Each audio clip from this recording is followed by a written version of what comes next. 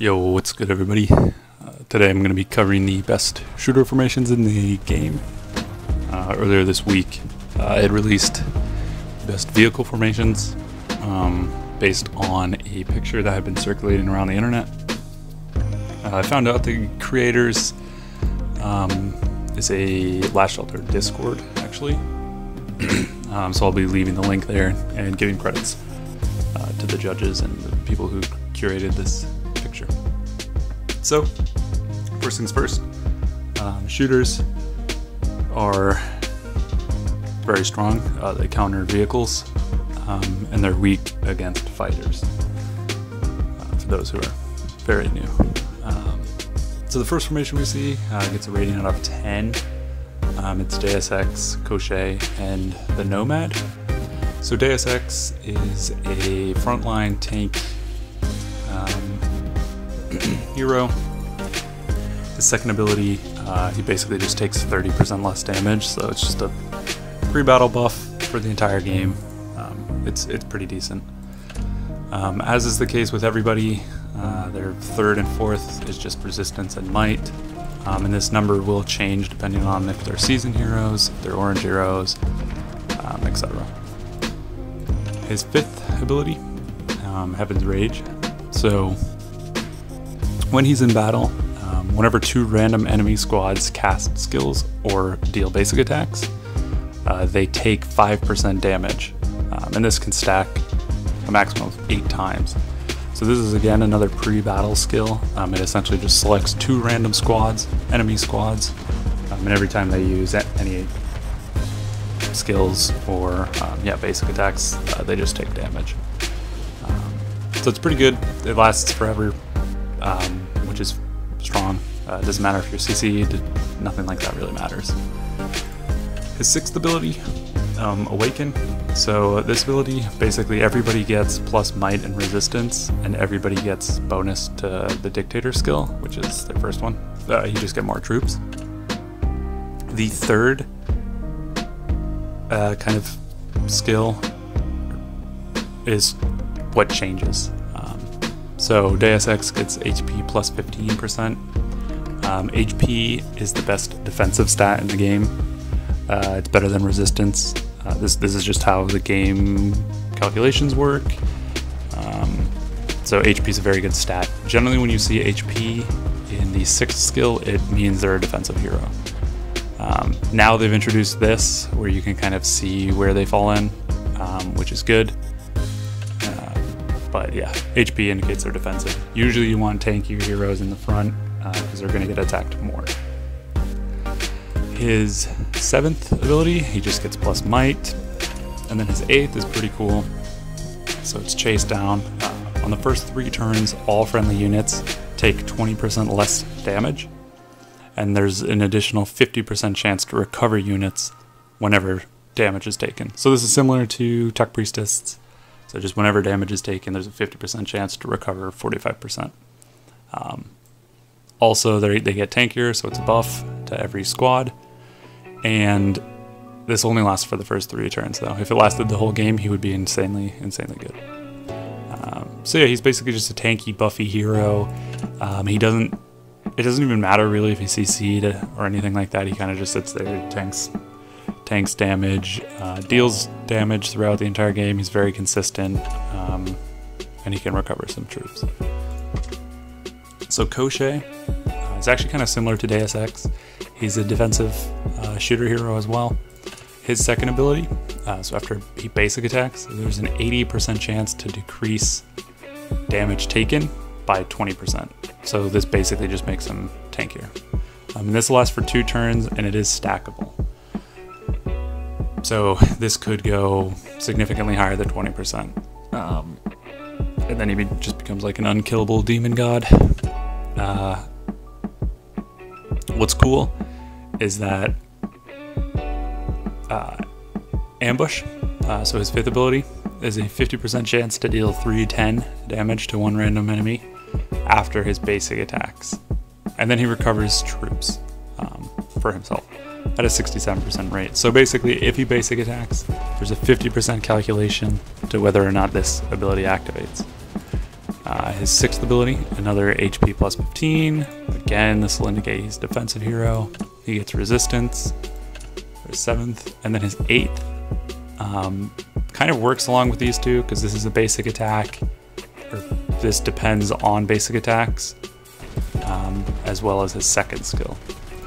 But anyway, his eighth skill is a 35% chance to make two random friendly enemy squads attack twice, uh, with 30% increased damage for two turns.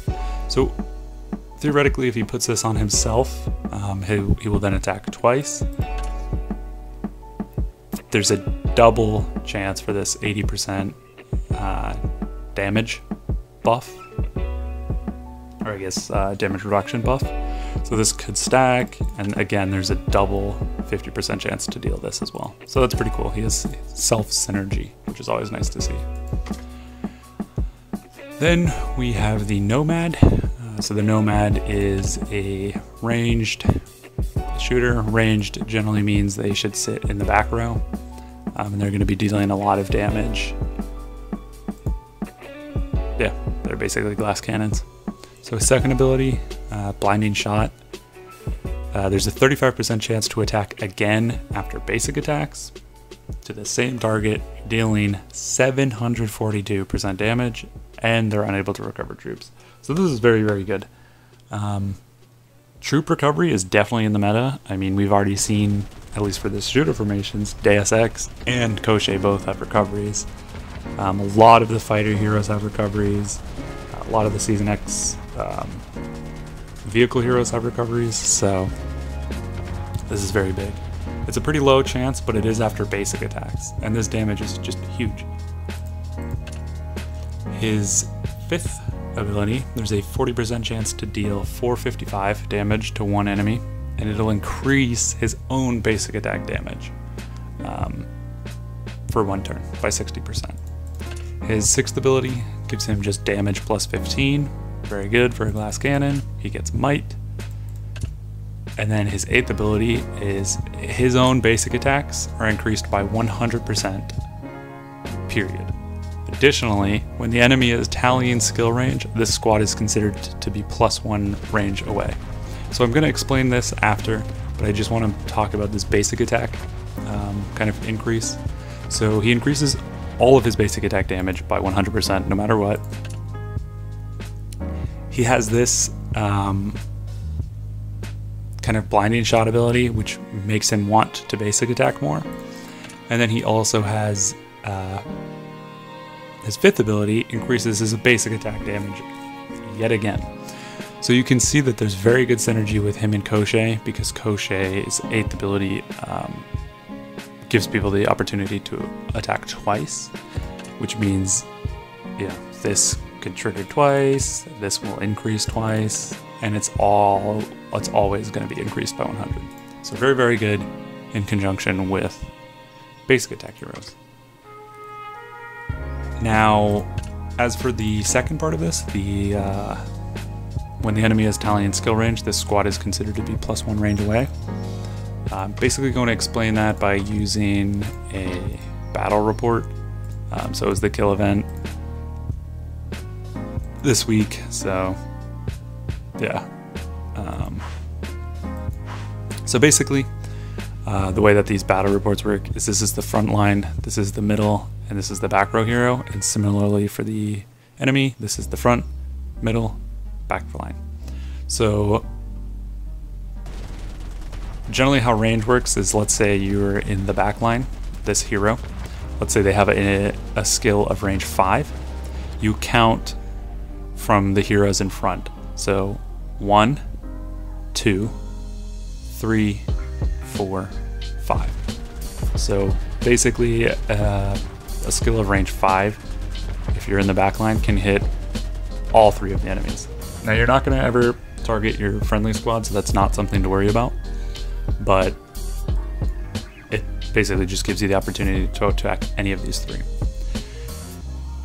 What's very interesting about Nomad's skill, that plus one range, means that if a hero is in the back line, they need a skill with effective range of six to reach him. Because it'll go one, two, three, four, and then five, six. Now, almost no abilities actually have range of 5, which basically means Nomad is very rarely going to get hit. Um, pretty much what you have to do is you'd have to put backline heroes. So, for example, Knight, you would actually want to put her in the middle in order to have the opportunity to attack Nomad. Um, so it, it, it, it's a pretty interesting skill. It's very good. Um, I'm assuming in the next wave of X heroes there will probably be some heroes with uh, range of six to counter him, but I, I don't know. So that's that's kind of how that range system worked.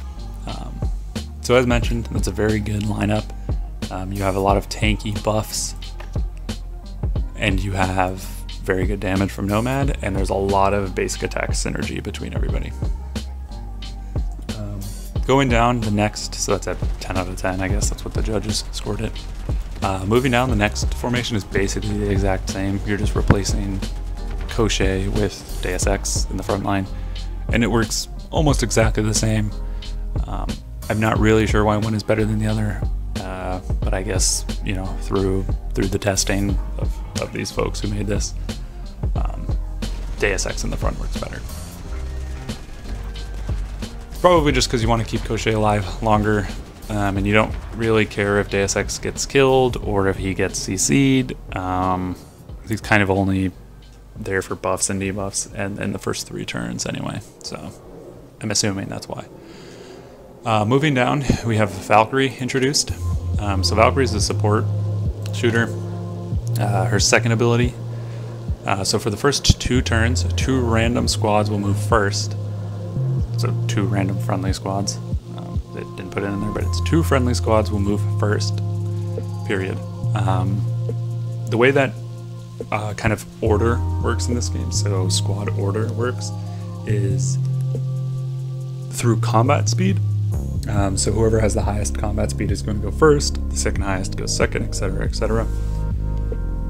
This basically just means ignore combat speed completely and just have these two squads go first, no matter what. They could have less combat speed and it doesn't matter.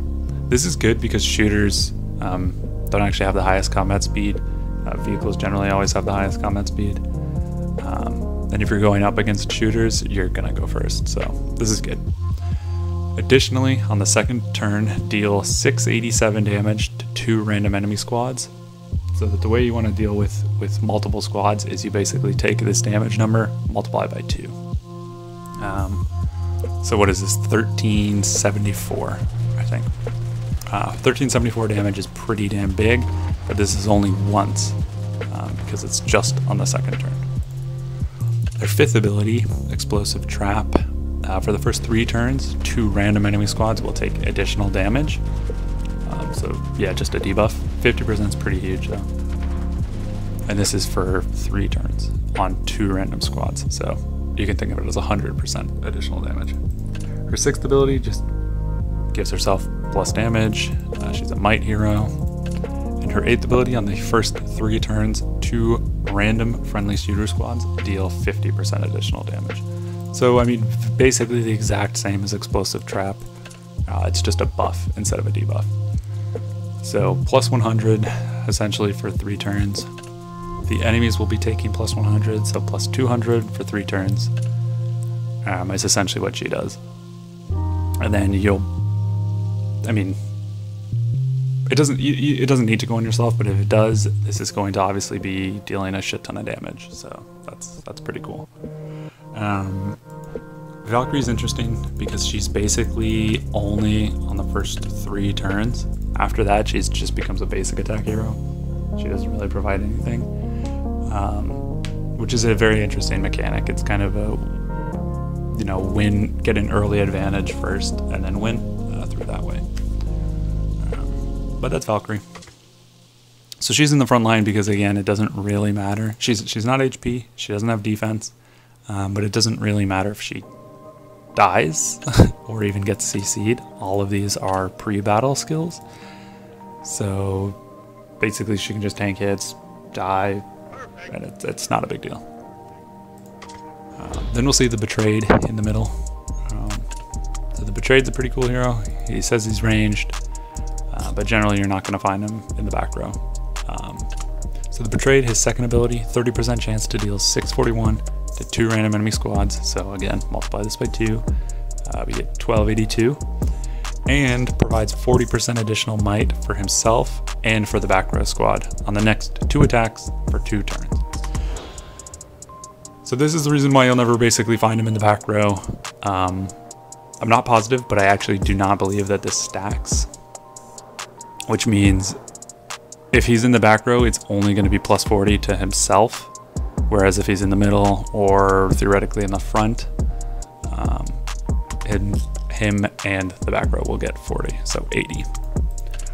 Moving on, his fifth ability, there's a 35% chance to deal 402 damage to one random enemy squad within range, and before the back row squad, the next action, deal 403% damage uh, to one enemy squad within the range of four from the back row squad.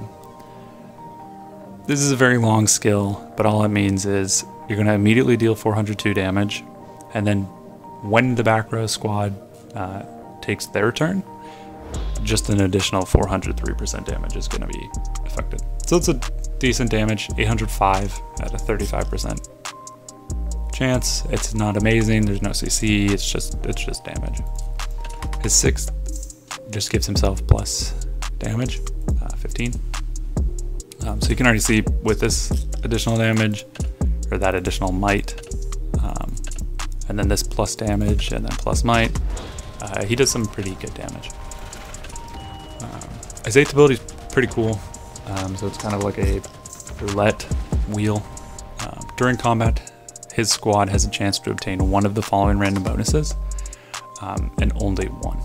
Uh, so either he has he'll restore some troops, uh, recovery 100.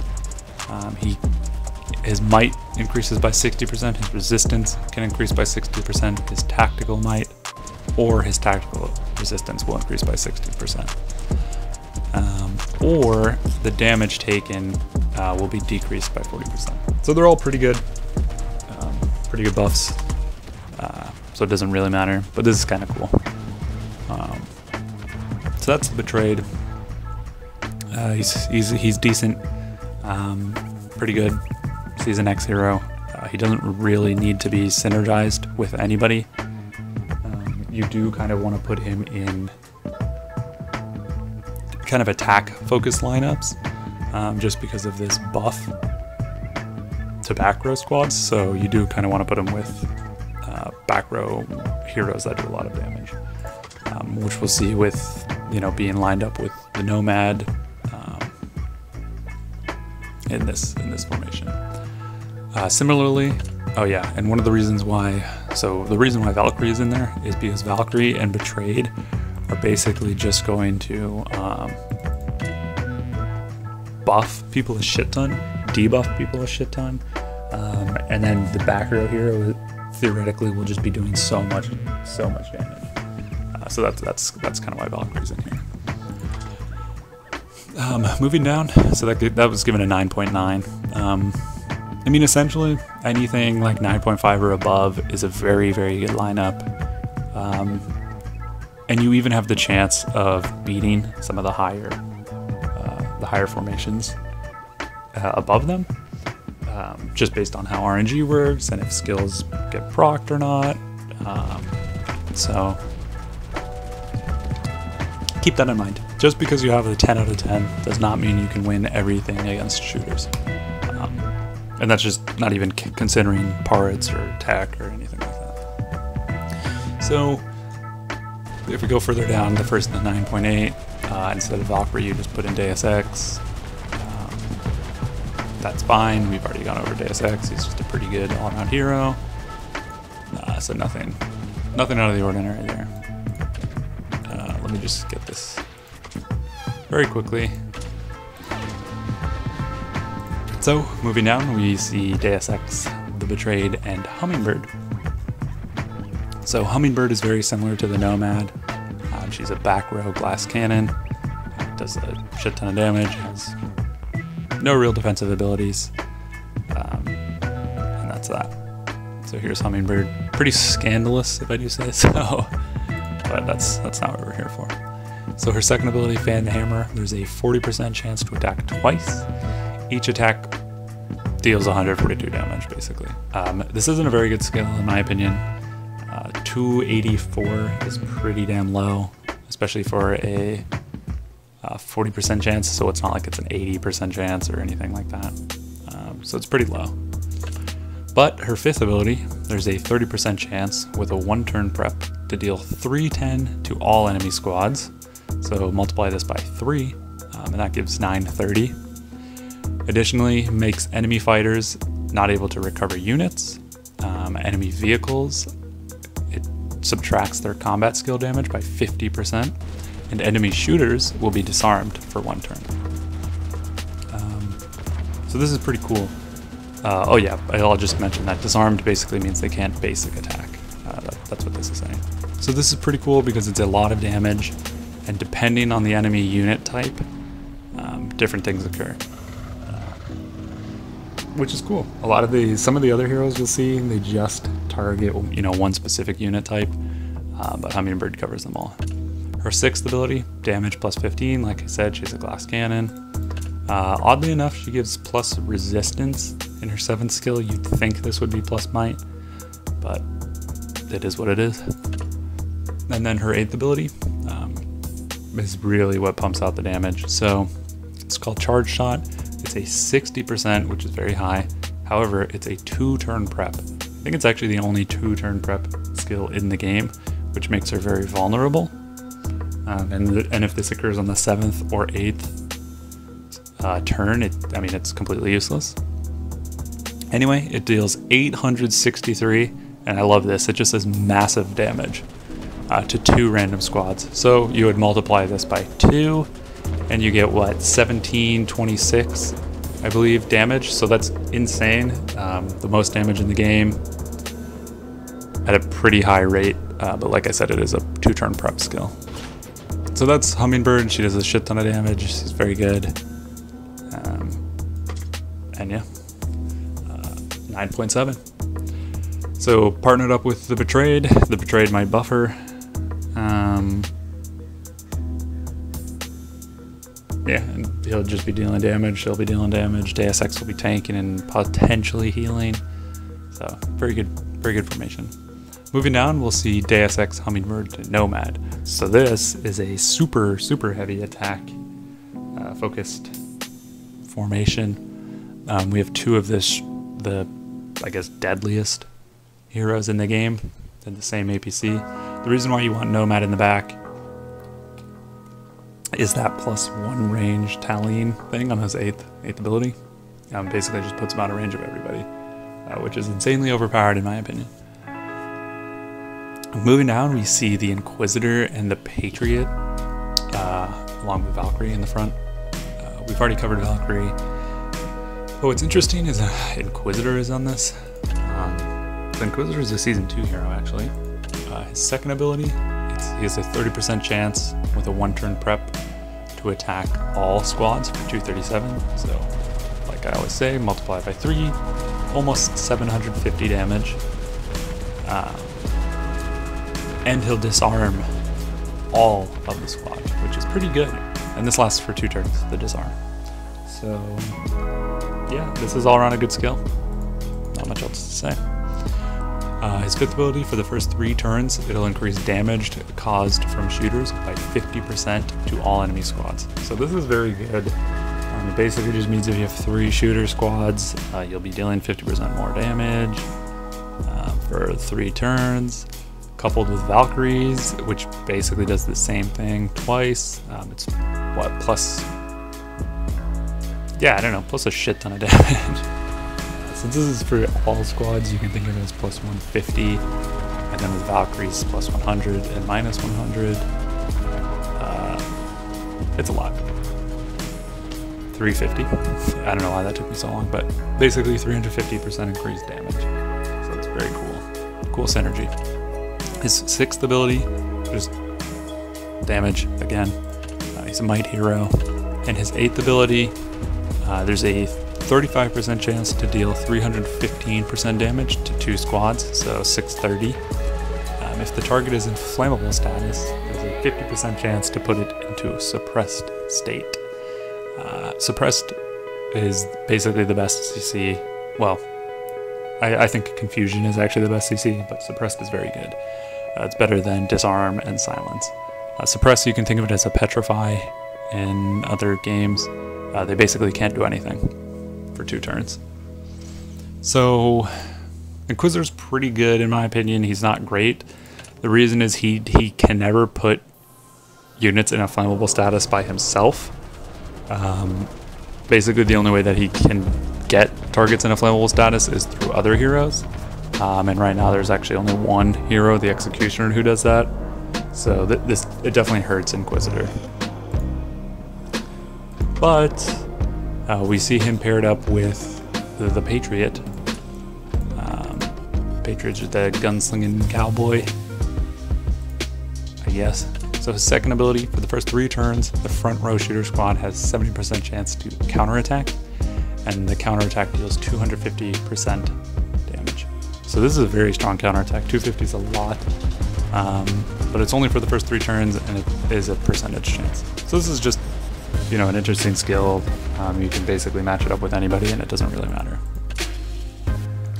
His fifth ability, Volley, there's a 35% chance with a one-turn prep to deal 306 damage to three enemy squads, so basically 918. Um, additionally, it'll lower their might, resistance, tactical might, and tactical resistance by 38%. So this is huge. Um, all squads get debuffed significantly to each one of their stats. So that's four different stats. Um, so theoretically, if you wanted to, you could multiply this by four and by three um, because it's to all three. So you'll see that this is doing a lot. It's very significant. Um, let's see if we did the math. It's about a hundred. It's, it's, almost it's over 400 percent debuff. So that's actually huge. However, it's a pretty low percent chance, and it is a prep skill. Uh, but nevertheless, his sixth ability just is just a plus damage. Um, he's a might hero. And then his eighth ability, um, for the first three turns, two random friendly squads have a 70% chance to be sober. Uh, I don't know why they call it this, but essentially they're just immune um, to all CC. So silent, disarm, suppressed, and confusion. And they're given a 55% might increase. So this is very good. It's only on the first three turns, um, which hurts it a little, but nevertheless, very good skill and that's that's the Patriot. So he, he basically just gives a lot of buffs, significant debuffs, um, and doesn't do that much damage himself. So moving on, um, that, that actually I'll talk about that formation for a little bit. So it's a little strange, my opinion. Um, I don't really recognize how it how it could be that good. Um, like I said, Inquisitor is a little strange to be in there. But, hey, I guess it works. So I would probably just retrofit in, um, you know, maybe Koschei uh, in the front, and Valkyrie in the middle, and then Patriot. Um, I think that would actually be a good squad because Patriot gives that counterattack. Um, well, actually, I don't think the counterattack is a basic attack. So anyway, um, enough about that theory crafting. If you guys know why that this 9.6 formation is, is rated as a 9.6, please let me know in the comments. Um, and if you guys have any battle reports of this, uh, yeah, please feel free to share them with me. Uh, very interested in, in all of the data. So the nine, the, going down the 9.5, um, we see Deus Ex, which we've covered. We see Nomad, which we've covered. But then we get introduced to Wings of Liberty. Um, so this is a pretty cool formation. Uh, Deus Ex, you know, very tanky, got some recovery. Wings of Liberty, uh, his second ability, there's a 40% chance to deal uh, with a one turn prep, to deal 486 to two random squads, so almost a 1,000. Um, and it'll also debuff their resistance by 47% for two turns. So all around good skill. Decent damage, good debuff. Um, yeah. his fifth ability for the first two turns, uh, two random enemy squads will be disarmed, and on the second turn, he will deal 276 to all enemy squads, so a little over 750 damage. Uh, pretty good, but this only happens once. However, the disarm is solid. Um, I wish this disarmed three enemy squads, he'd be better, but it is what it is. Um, so he actually is given plus combat speed, which is which is quite cool. Um, it's only for him for for so the sixth ability only works for the squad that the hero is in, uh, which basically just means he'll go before most of his teammates. Um. So his eighth ability, it's a 35% chance to deal 343 with a one turn prep to two enemy squads. Um, so 686, and it'll heal himself and a random friendly squad for 97%. So it's pretty high recovery. It's times two, almost 200% recovery. Um, and he's dealing pretty solid damage, almost 700. However, it's a pretty low chance and it is a prep. Uh, he's a resistance hero. All around pretty solid. Debuffs, some decent damage, uh, CCs, some some more damage, um, additionally more damage, and then some some pretty pretty solid recovery. Uh, so that's Wings of Liberty. Nothing great. He's, he's, certainly not like the best hero by any means. Um, he's just a pretty solid all around uh, hero. And he can basically go in any lineup, which is which is pretty nice. So yeah. Uh, then we just get to the Nomad. I mean, there's really no reason not to put Nomad in a formation if you had him. If you have him, very very strong hero. Uh, going down, we see basically the exact same formation, just with Hummingbird instead of Nomad. Like I said, the only reason why you would really do this is if you didn't have Nomad. Um, but yeah, Hummingbird's very very good as well. Uh, so it's not like you know you're losing out on on a ton. Um, you will notice that this is actually an updated image. So on the right hand side, uh, we'll see that these are unranked combinations. Um, these are basically pre X heroes, so pre season X formations. I'll be making another video shortly covering these heroes, um, and this goes all the way from season 4 down to normal orange heroes. Uh, so the so the second part will be much better for kind of newer players. Um, anyway, I hope you guys have enjoyed. Um, I will be making, like I said, the next iteration of the shooters video. I'll be making the fighters formations as well as some of the mixed uh, APC formations. I do believe that mixed is the best possible formations that you can get uh, especially if you have Baneblade parts. So that's that's at this point that's for the very very high end players. Um, but I still think that even without Baneblade, um, some of the mixed APCs are, are incredibly strong. Uh, for example, uh, Tech Priestess, Canoness, and Hummingbird. Uh, it's definitely one of the strongest APCs in the game, if not the strongest. Um, every APC has weaknesses, uh, but the reason why you have a mixed is is you kind of try to flush out some of those weaknesses. So, for example, fighters are weak to vehicles, but shooters are strong against vehicles. So, what happens is if a vehicle unit is sent there, um, they're obviously going to do more damage to the two fighter heroes, but Hummingbird is just going to absolutely tear them apart because she's a shooter. Uh, APC. So, that's that's definitely one of the reasons why mixed APCs. And then Baneblade basically just makes it so it doesn't matter. Uh, you don't need it's not specific, so it's not unit type specific like Phantom or Ranger or Dreadnought parts are. Um,